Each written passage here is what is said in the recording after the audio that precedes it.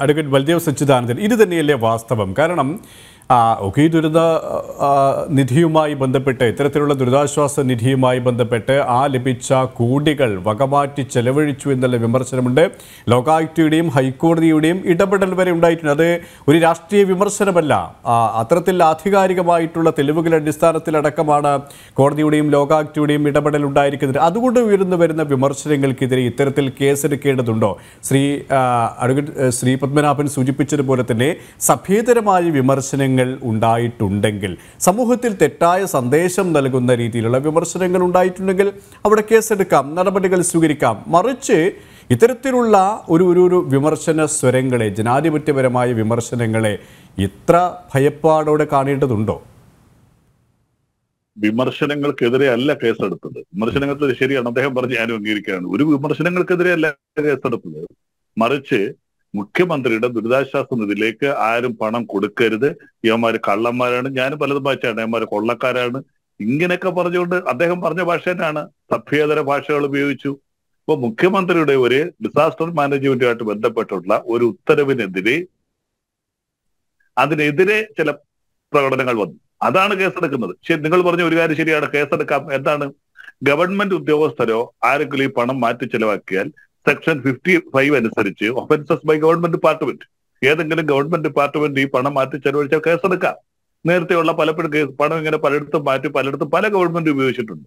അതിനൊക്കെ എതിരെ നടപടികൾ ഉണ്ടാകാം. പക്ഷേ ബൽദേവ് സച്ചിദാനന്ദൻ ഏറ്റവും ഒടുവിലായി നമുക്ക് മനസ്സിലാക്കാൻ കഴിയുന്നത് ഇപ്പോൾ താങ്കൾ പറഞ്ഞതുപോലെ തന്നെ ഇത്തരത്തിലുള്ള സഭ്യേതരമായ ഭാഷകൾ ഉപയോഗിച്ച് അത്തരം വിമർശനങ്ങൾക്കെതിരെ ഇടപെടലുകൾക്കെതിരെ കേസെടുക്കാം. പക്ഷേ മുപ്പത്തി ഒൻപത് എഫ് ഐ ആറുകൾ രജിസ്റ്റർ ചെയ്തതിൽ അത്തരം കേസുകൾ ഒന്നോ രണ്ടോ മാത്രമാണെന്നാണ് ഏറ്റവും ഒടുവിൽ നമുക്ക് ലഭ്യമാകുന്നത്. മറിച്ച് അല്ലല്ല മുപ്പത്തൊമ്പതെണ്ണം കേസെടുത്തിരിക്കുന്നത് മുഖ്യമന്ത്രിയുടെ ദുരിതാശ്വാസത്തിലേക്ക് പണം കൊടുക്കരുത് എന്ന് പറഞ്ഞാണ്. അതായത് കൊടുക്കരുത് എന്ന് പറഞ്ഞു അവിടെ മറ്റ്. സഭ്യേതരമായ ഭാഷ ഉപയോഗിച്ചിട്ടില്ല. അല്ലല്ല കൊടുക്ക നിയമവിരുദ്ധമാണ്. അതാണ് ഞാൻ പറഞ്ഞത്. കൊടുക്കരുത് എന്ന് പറയുന്നിടത്ത് ഇവിടെയാണ് സഭ്യതരമായ ഭാഷയുള്ളത്? സഭ്യേതരമല്ലത് അത് നിയമവിരുദ്ധമാണ്. അതായത് ഡിസാസ്റ്റർ കേന്ദ്ര ഗവൺമെന്റ് പാസാക്കിയ ഡിസാസ്റ്റർ മാനേജ്മെന്റ് ആക്ടിന്റെ സെക്ഷൻ ഫിഫ്റ്റി സെവന് വിരുദ്ധമാണ്. Penalty for contravention of any order disaster മാനേജ്മെന്റുമായിട്ട് ബന്ധപ്പെട്ട് ഗവൺമെന്റ് ഒരു ഉത്തരവിറക്കിയാൽ കളക്ടർ മുഖ്യമന്ത്രി വേണമെന്നില്ല.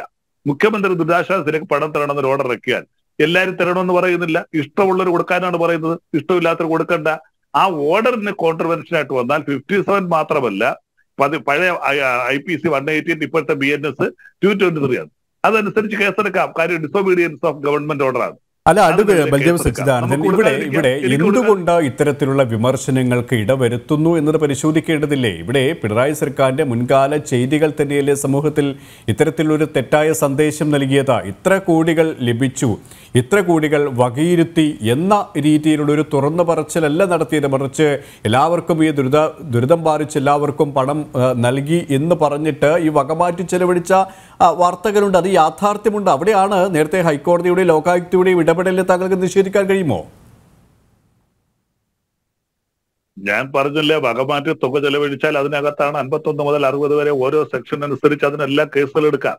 കേസ് പരാതിപ്പെടാം. നമുക്ക് തന്നെ പരാതിപ്പെടാം. ഹൈക്കോടതിയിൽ നമുക്ക് തന്നെ പെറ്റിഷൻ മൂവ് ചെയ്യാം. ഇവിടെ നേരത്തെ ശ്രീകുമാൻ ചേട്ടൻ തന്നെ പറഞ്ഞില്ലേ നമുക്ക് തന്നെ കേസ് മൂവ് ചെയ്യാം. കോടതി കേസെടുത്തേ പറ്റൂ. അല്ലെ പോലീസ് കേസെടുത്തേ പറ്റൂ. പക്ഷെ അതിനെതിരെ പ്രസ്താവന കൊടുക്കുന്നതാണ് അതാണ് ഞാൻ പറയുന്നത് അവിടെയാണ് അവിടെയാണ് അഡ്വക്കേറ്റ് ബൽദേവ് ഞാൻ ചോദിക്കുന്നത്. കാരണം ഞാൻ അതിനെ ആ വിമർശിച്ചതിനെ തെറ്റായി കാണുകയോ അല്ലെങ്കിൽ അതിനെ ആ, ആ, ആ, ഒന്നുമല്ല ചെയ്യുന്നത്. മറിച്ച് അത്തരം വിമർശനങ്ങൾ പൊതുസമൂഹത്തിന്റെ ഇടയിൽ നിന്നും ഉയർന്നു വന്നാൽ ആ ആ ആ സ്വാഭാവികമായ വിമർശനങ്ങളല്ലേ അത് കാരണം ഒരു സാധാരണക്കാരനെ സംബന്ധിച്ചിടത്തോളം അവരടക്കം ആ, നേരത്തെയുള്ള ദുരിതാശ്വാസ നിധിയിലേക്ക് പണം നൽകിയിട്ടുണ്ട്. ജനാർദ്ദനന്റെയും മറ്റ് കാര്യങ്ങൾ നമുക്കറിയാലോ കണ്ണൂരിലെ. ആ, അങ്ങ- അങ്ങനെയുള്ള നിരവധി സാധാരണക്കാരായ ആൾക്കാരാണ് ഇത്തരത്തിലുള്ള പണം നൽകിയത്. അവർ പിന്നീട് ഈ പണം ഏത് രീതിയിലാണ് കൈവിട്ടു പോയത് അല്ലെങ്കിൽ ചെലവഴിച്ചത് എന്നറിഞ്ഞപ്പോൾ വലിയ സങ്കടത്തിലായിട്ടുണ്ട്. ആധിയിലായിട്ടുണ്ട് അങ്ങനെയുള്ളവരാണ് ഇത്തരത്തിലുള്ള വിമർശനങ്ങൾ ഉന്നയിക്കുന്നത്. അല്ലെങ്കിൽ ഇങ്ങനെയുള്ള വിമർശനങ്ങൾ പറയുന്നത് അവരെ കുറ്റം പറയാൻ സാധിക്കുമോ? ഇത് വിമർശനം അല്ല സുഹൃത്തെ. വീണ്ടും വീണ്ടും വിമർശനം എന്ന വാക്ക് ഉപയോഗിക്കാതെ. വിമർശനമല്ലിത് ഗവൺമെന്റ് ഉത്തരവിനെതിരെയുള്ള ഒരു നിലപാടാണ്.